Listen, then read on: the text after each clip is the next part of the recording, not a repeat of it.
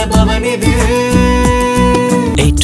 உங்கள் பசியார எங்கள் ருசி பேசும். மதுரையில் நேற்று நள்ளிரவு ஒரு மணி நேரம் வெளுத்து வாங்கிய மழையால் மாவட்டத்தின் பல்வேறு பகுதிகளில் வெள்ள நீர் சூழ்ந்து பொதுமக்களின் இயல்பு வாழ்க்கை பாதிப்புக்குள்ளானது. இந்நிலையில் மதுரை நாடாளுமன்ற உறுப்பினர் சு. வெங்கடேசன் அதீத மழை மற்றும் எதிர்பாராத வெள்ள நீரால் மக்கள் சிரமத்திற்கு உள்ளாவதை புரிந்து கொள்ள முடியும். ஆனால் நிர்வாகத்தின் கவனக்குறைவாலும் முன்னெச்சரிக்கை இன்மையாலும் மக்கள் இன்னலுக்கு உள்ளாவதை ஏற்க முடியாது என பதிவிட்டு அதில் பேரிடர் துறை அமைச்சர் K. K. S. S. R. Rama Ramachandran மற்றும் மதுரை மாவட்ட ஆட்சியரின் எக்ஸ்தல கணக்கை டேக் செய்து எச்சரிக்கை விடுப்பது போல பதிவிட்டுள்ளார்.